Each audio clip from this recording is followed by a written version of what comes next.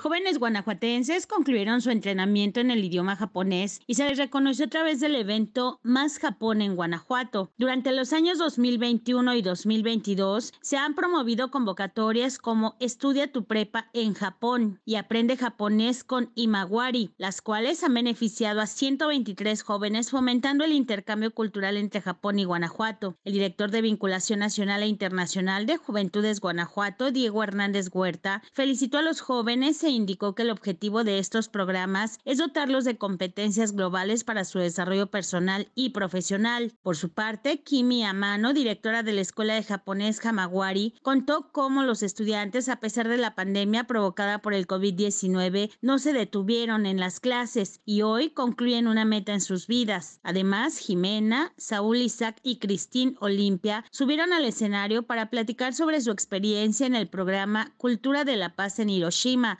donde coincidieron que les cambió la perspectiva en el ámbito personal y profesional. En el evento también participó José de la Luz Martínez Romero, director general de Educación Media Superior, quien acudió en representación del secretario de Educación de Guanajuato, Jorge Hernández. Asimismo, los pares de familia y seres queridos de los graduados fueron testigos del fruto que rindió el esfuerzo y dedicación de los jóvenes. Para Noti 13 informó Margarita Villanueva.